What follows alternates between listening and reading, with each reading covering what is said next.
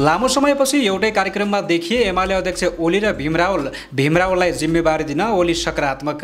दर्शक महानुभावहरू झन्डै दुई वर्षपछि नेकपा एमालेका अध्यक्ष केपी शर्मा ओली र एमाले नेता भीमरावल एउटै सार्वजनिक कार्यक्रममा देखिएका छन्।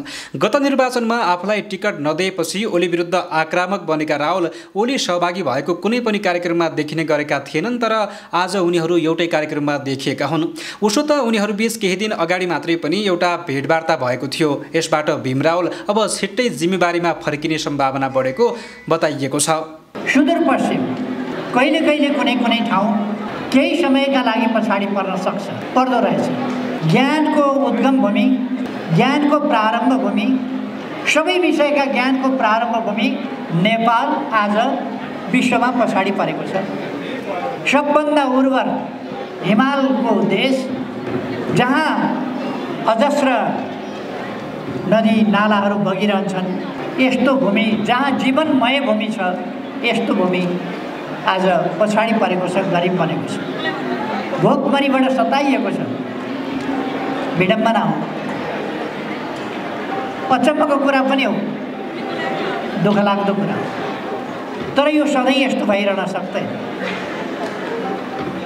आज सुदूरपश्चिम पनि कर्णाली काली कर्णाली यो प्रदेश यो भेग पनि पछाडि परेको छ।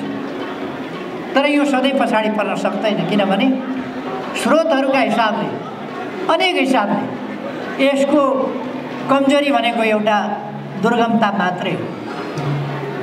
अब त्यस दुर्गमतालाई हामीले अनेक प्रकारका कनेक्टिभिटीहरू बाटाका कनेक्टिभिटी हवाई यातायातका कनेक्टिभिटी अब बिस्तारै हामीले केवल कारका कनेक्टिभिटी अहिले सञ्चारका कनेक्टिभिटी आदिबाट हामी जोडिसकेका छौँ र अरू कनेक्टिभिटीहरू पनि हामी जोड्दैछौँ।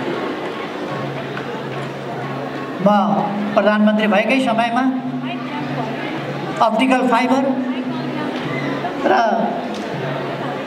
केबल कार बिछ्याउने कामहरूदेखि लिएर सबै जिल्लाहरूमा फोर जी सेवा उपलब्ध गराउने त्यो अभियानलाई सफलतापूर्वक अगाडि सारेको हुनाले अहिले सञ्चार क्षेत्रमा हामी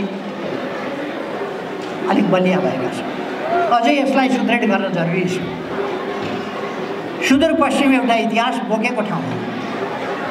संस्कृति बोकेको ठाउँ हो कला बोकेको ठाउँ हो।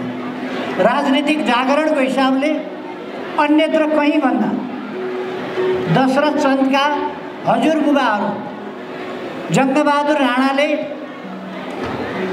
उन्नाइस सय तिनमा कोत पर्वबाट कब्जा गरेपछि नै दशरथ चन्दका बुबा हजुरबुबा बुबा हजुरबुबाहरू दशरथ चन्दका हजुरबुबाहरूले नै विद्रोहको आगो सल्काउनु भयो। त्यसै बेला राणा शासनको विरोधमा आन्दोलन गर्दै केही निर्वासनमा जानुभएको थियो। भने अछामका बाकावीर उन्नाइस सय छमा राणाहरूद्वारा इस्तिहार जारी गरेर काटेर टाउको ल्याउनु भनेर उहाँको हत्या गरेर उहाँलाई शहीद बनाएर उहाँको टाउको दरबारमा ल्याएका थिए। यसरी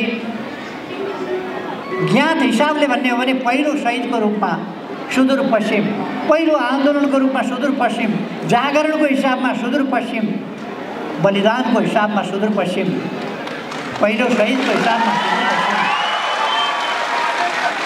नेपालको संस्कृतिको सन्दर्भमा भन्ने हो भने जुम्ला होस् अथवा अरू संस्कृतिहरू हो त्यहाँको राजनीति होस् अहिले पनि त्यहाँका शिलापत्रहरू साक्षी छन्। सुदूरपश्चिम अगाडि बढेको थियो।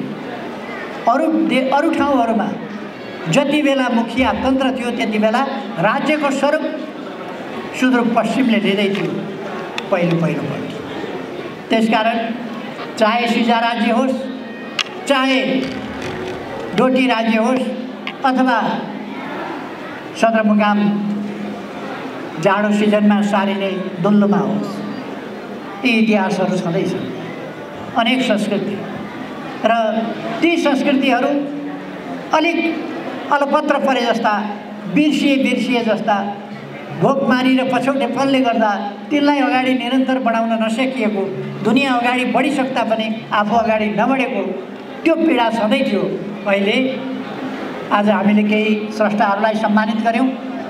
उहाँहरूको मेहनत प्रयोग परिश्रम आदिले आज सुदूरपश्चिमको संस्कृति सुदूरपश्चिमको कला सुदूरपश्चिमको गौरवपूर्ण इतिहास सुदूरपश्चिमका सम्भावनाहरू यी सबै कुराहरूलाई उजागर गर्ने काम भएको छ र खास गरी यस सांस्कृतिक क्षेत्रबाट। देउडा आज सुदूरपश्चिममा मात्रै प्रसिद्ध होइन। या सुदूरपश्चिमको संस्कृति आज सुदूरपश्चिममा मात्रै होइन। नेपालभरि प्रसिद्ध छ। नेपालभरि मात्रै नेपालभरि मात्रै लोकप्रिय होइन। यो जहाँ जहाँ पुगेको छ लोकप्रिय छ। त्यसलाई खालि चिन्न जान्नु पऱ्यो बुझ्न जान्नु पऱ्यो। यस सम्बन्धमा म स्रष्टाहरूलाई जसलाई हामीले सम्मान गरेका छौँ उहाँहरूप्रति हार्दिक बधाई भन्दै उहाँहरूप्रति आभार व्यक्त गर्दै उहाँहरूले संस्कृतिलाई उजागर गर्ने कुरामा महत्त्वपूर्ण योगदान गर्नुभएको छ। फेरि पुनर्जीवन दिने कुरामा महत्त्वपूर्ण योगदान गर्नुभएको छ।